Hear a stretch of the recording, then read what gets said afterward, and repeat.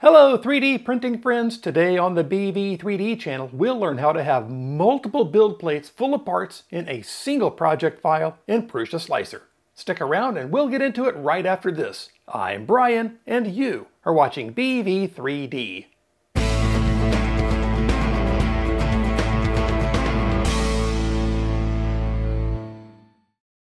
This episode of the BV3D channel is brought to you in part by these awesome channel members.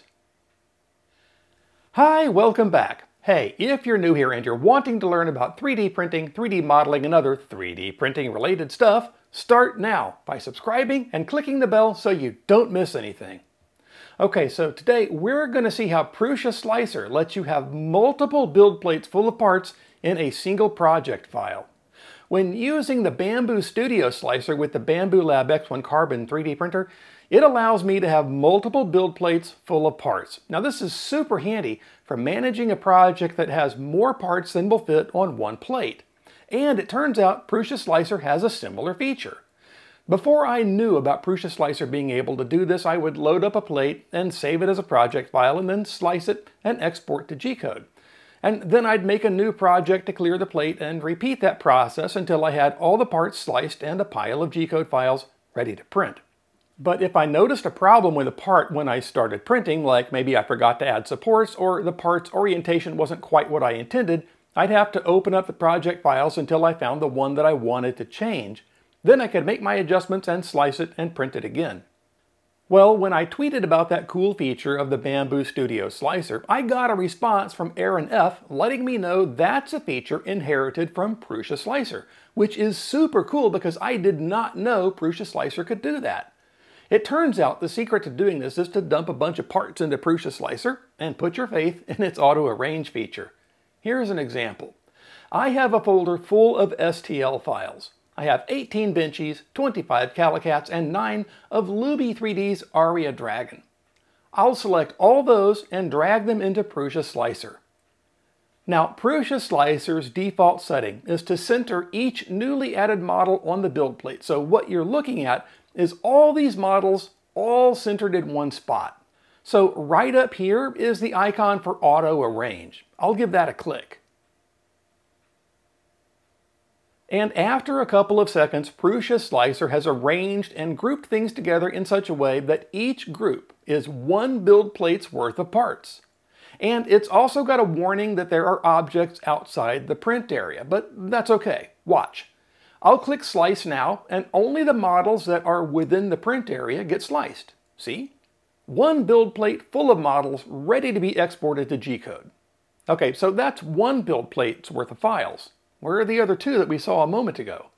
Well, they're still here in the project. We just have to move them into place, like this. I'll switch back to the editor view, do a select all, and then slide the entire collection left until the second plate of parts is lined up on the build plate and all the models turn green. Then I'll click Slice Now again, and the second plate of models is sliced and ready to export to G-code. Let's do the third set of them. Back to the editor view, select all, move over, and slice. And that's the third plate of models ready to export to G-code. Now that we're done with that, we should save this project file so we can get back into it later if we need to. That can take a little bit of time depending on how complex the project is.